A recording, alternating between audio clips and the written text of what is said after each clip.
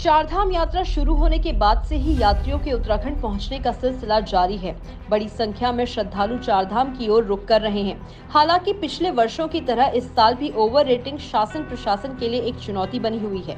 इस यात्रा में ओवर रेटिंग न हो, इसके लिए हर धाम पर रेट लिस्ट जारी करने के निर्देश शासन स्तर से जारी किए गए हैं। गढ़वाल कमिश्नर विनय शंकर पांडे के अनुसार श्रद्धालुओं के लिए जारी की गई यात्रा पर्ची में लिखे नंबरों पर ओवर रेटिंग की शिकायत भी की जा सकती है।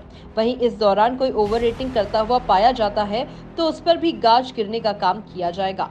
एक चीज़ तो बड़ी स्पष्ट बता दें कि ये जब भी चारधाम यात्रा की हम लोगों ने तैयारी शुरू की थी, चाहे मेरे स्तर पर बैठक ली गई हो, मुख्य सचिव महोदया के स्तर पर, माननीय मुख्यमंत्री जी ने तो तीन बैठकें दी और लगातार वो रुद्रप्रयाग भी मौके पर गए थे, उन्होंने निरीक्षण भी किया था। ये निर्देश दिए गए हैं कि यात्रियों का किसी भी दिशा में शोषण ओवर न हो।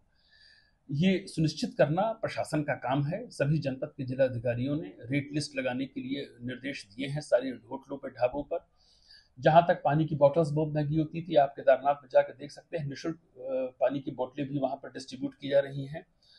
प्रशासन का अगर कोई ऐसी शिकायत मिलती है उसको कि कहीं ओवर हो रही है तो बड़ी ही सख्त कार्रवाई भी की जा रही है। लेकिन अभी तक ऐसी कोई रिपोर्ट आई नहीं है और मैं तो ये अनुरोध करूँगा आपके चैनल के माध्यम से कि जो यात्रा पर्ची जारी हुई थी, उसमें डिफरेंट नंबर्स भी दिए हुए हैं। हेल्पलाइंस के नंबर भी दिए हुए हैं और जो लोकल अथॉरिटीज़ उनके नंबर हैं, अगर कहीं से ओवर हीटिंग की शिकायत आती है तो उसको अपने टेलीफोनिक, व्हाट्सएप या मैसेज के माध्यम से तत्काल प्रशासन को सूचित करते हैं।